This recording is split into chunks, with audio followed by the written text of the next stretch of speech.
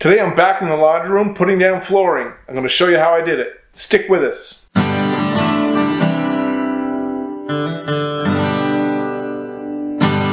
Hi and welcome to the Handyverse where we approach homeownership mindfully, turning to DIY as a first resort when we can, our knowledge and skills allow it, to improve our home, to learn, and hopefully inspire you to do the same in your own living space. Today we're back down in the laundry room after a long hiatus. Uh, Suzanne's getting a little impatient, but I have some time now, so I'm back in the laundry room. Today I'm putting down some flooring, and uh, I'm going to show you how we do it. So the flooring we're going to use is a laminate flooring. Uh, you can see it here. Uh, I don't know what you call it, a barn board pattern maybe. Um, this is, uh, it's called the Home Decorators Collection. We got this up at Home Depot.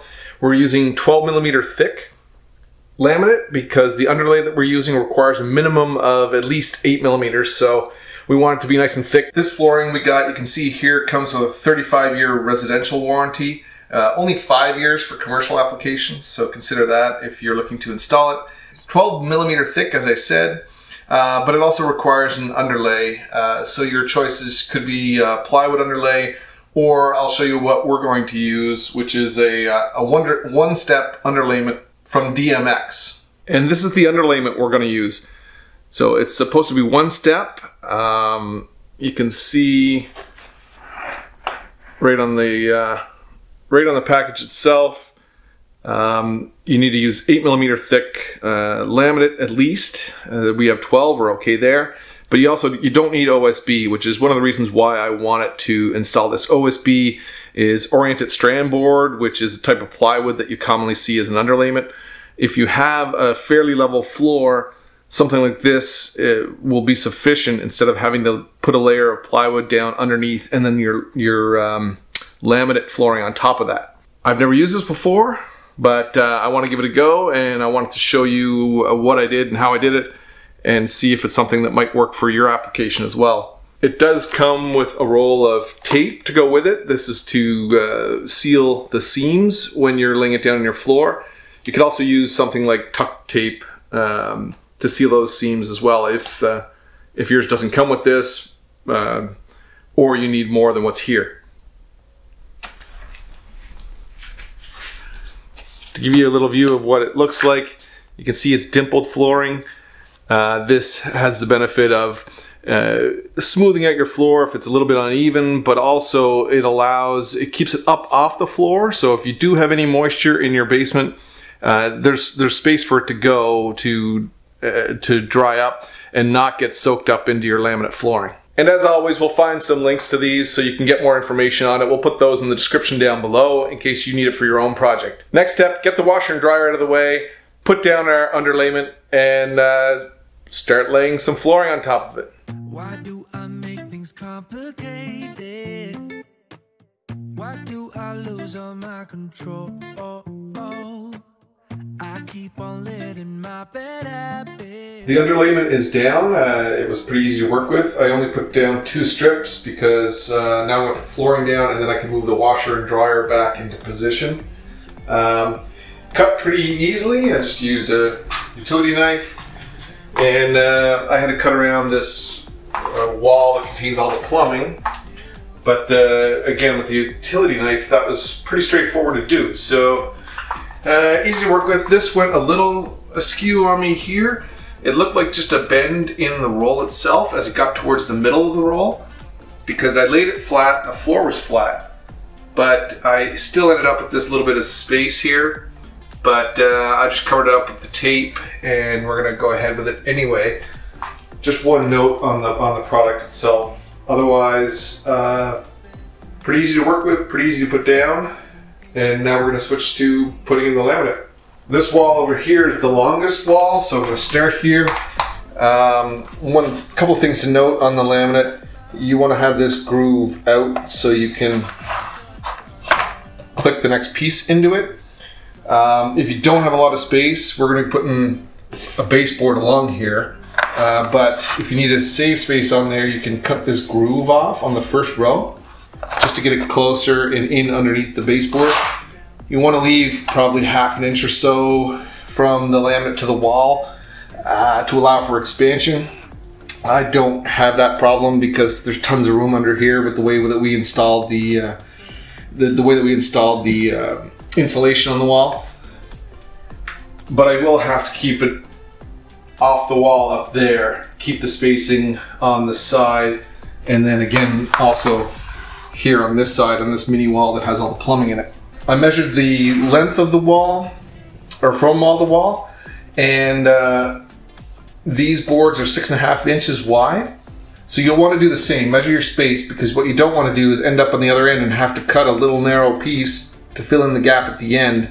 Um, when I did the calculations, I should end up with a, a piece about this big at the end, which is uh, nice and easy to still work with. I'm uh, going to cut it with the jigsaw. I, I don't have a laminate blade for my radial arm saw, and they're cost about a hundred bucks to get one. So I know it's going to be a bit slower to use the jigsaw, but I do have laminate blades for that. So that's what I'm going to use to cut the pieces. Again, it'll take a little bit more time, but it'll also save me hundred dollars. Now I just need to stagger, make sure I stagger the seams and start putting in the flooring.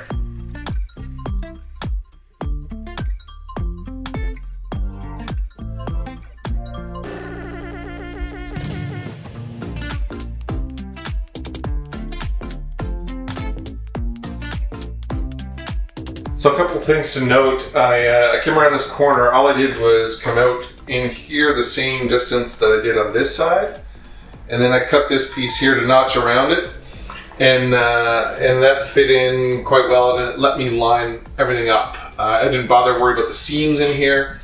But out here you can see I staggered the seams as random as I could. Um, one thing to note when you're using laminate, you can see this pattern here it shows in a couple of spots. So laminate flooring is essentially a picture that's uh, that's put onto an engineered board. And so um, it's not not too bad if you have something that's consistent, but where this is kind of barn style, those patterns are actually noticeable. So uh, and this is going to be underneath the, the washer, so I'm not too worried about that. But for moving forward, I'm going to be cognizant of where those patterns end up and try and space them out as far as possible. This flooring is is uh, pretty easy to install actually. Um, there's no lip on this side, so it just sets down into this groove of the neighboring piece, which makes it a lot easier.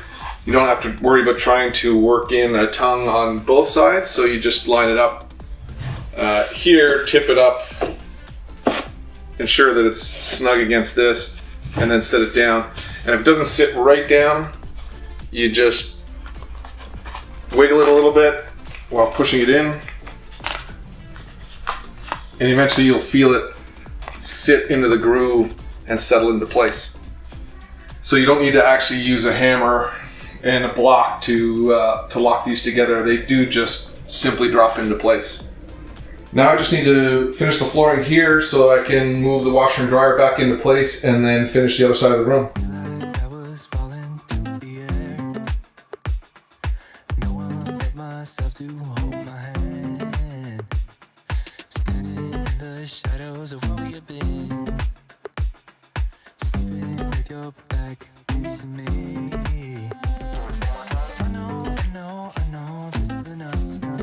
Okay, I have the washer and dryer moved away. Uh, I've got this left to do. Need to put down the underlayment. Uh, I just need to move Her Royal Highness's throne um, so I can do in there as well. You can see I went a little bit crooked with the underlayment. Um, so the floor looks crooked right now, but I've triple checked it and measured it against the far wall and the laminate is going straight, or uh, I should say perpendicular, parallel to the wall is going parallel to the wall behind. But it might make it a little bit tricky to put the underlayment down for the rest of this here um, strip that I have to do. But uh, what I'm going to do is I'm going to change directions with the underlayment and to make it a little bit easier to work with. Feels like have been turned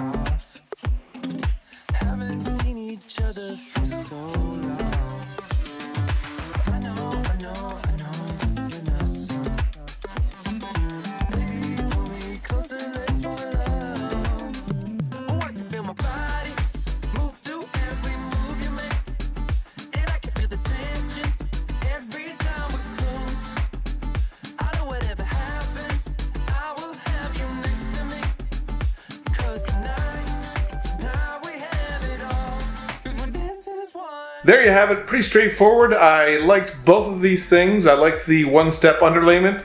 It was really easy to put down, really easy to modify just using a utility knife. Uh, the laminate flooring went down great. It feels good.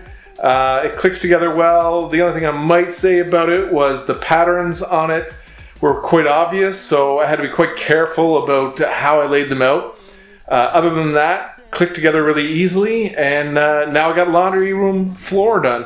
So if you want to see where this came from, what it looked like before, and what it's going to look like when it's finished, I'm going to put a link right up here uh, for the whole playlist for all these laundry room videos, and you can check them out and catch you in the next one.